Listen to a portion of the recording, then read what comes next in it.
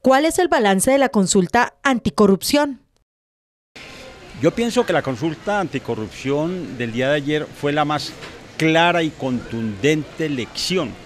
que los ciudadanos le pudimos dar a los corruptos de Colombia.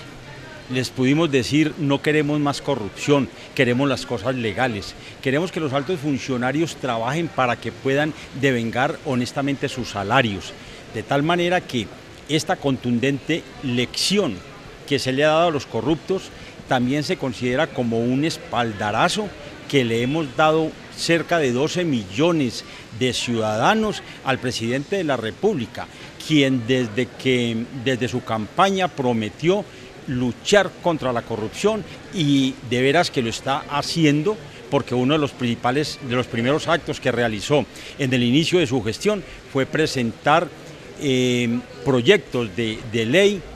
anticorrupción al Congreso de la República. ¿Qué faltó para lograr la meta? Bueno, nos faltó, nos faltó haber, haber involucrado, como les digo, a los, eh, en, todos, en todas estas actuaciones, en la rendición de cuentas, en la, en la, en la manifestación de, los, de, los, de las labores realizadas, en, en, en los, en los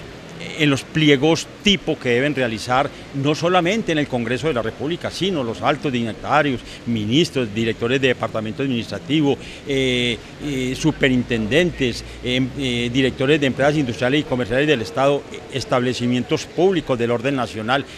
Eso nos pudo haber faltado. Ahora, ¿qué viene? Y lo que viene ahora ya es presentarle al Congreso de la República proyectos de acto legislativo unos y proyectos de ley otros, porque es que hay actuaciones que tienen que modificarse mediante actos legislativos eh, mm, porque son constitucionales, porque están consagrados en la Constitución, entonces vamos a modificar la Constitución. Y otros que están en la ley, entonces vamos a modificar la ley, presentamos proyectos de ley, proyectos de ley, y así el mismo presidente de la República nos va a colaborar con el Congreso hablando con el Congreso para efecto de que eh, saquen adelante estas propuestas.